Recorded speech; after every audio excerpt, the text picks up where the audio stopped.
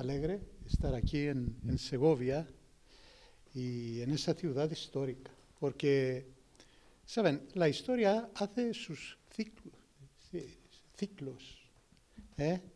Atenas era una gran ciudad, pero cuando ese edificio se construyó en el siglo XVII, 17, Atenas era un, casi un pueblo ¿eh? de 10.000 habitantes.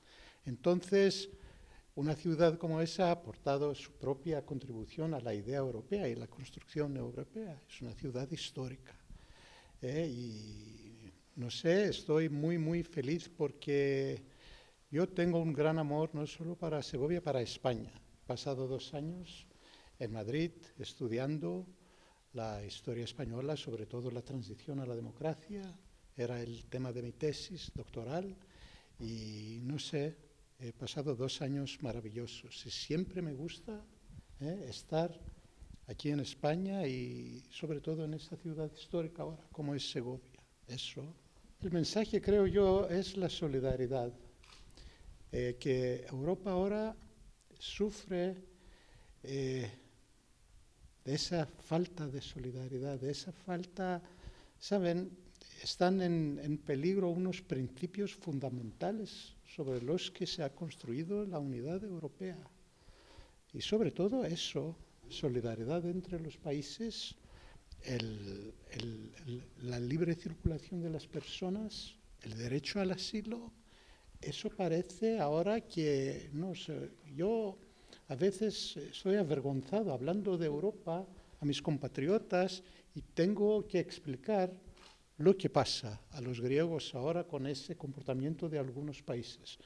Pero ya lo sabemos que eh, Europa ha pasado muchas crisis, ha pasado a través de muchas crisis y siempre sale más fuerte. Esperemos que este será el caso ahora también. No estamos en el momento Los europeos, algunos sí, algunos sí, como las dos alcaldesas españolas, la alcaldesa de, de Madrid y de Barcelona, que han mostrado un comportamiento estupendo. Las dos han declarado que están, sus ciudades están preparadas para recibir eh, refugiados de Atenas. Ese es un comportamiento simbólico muy fuerte. Por el momento en Grecia hay alrededor de los 55.000. Eh, es algo que el país, claro, puede aguantar, eh, pero todo depende de, del, del, comportamiento de Turquía. Si el acuerdo que ha firmado la Unión Europea con Turquía sigue, creo que no vamos a tener problemas serios.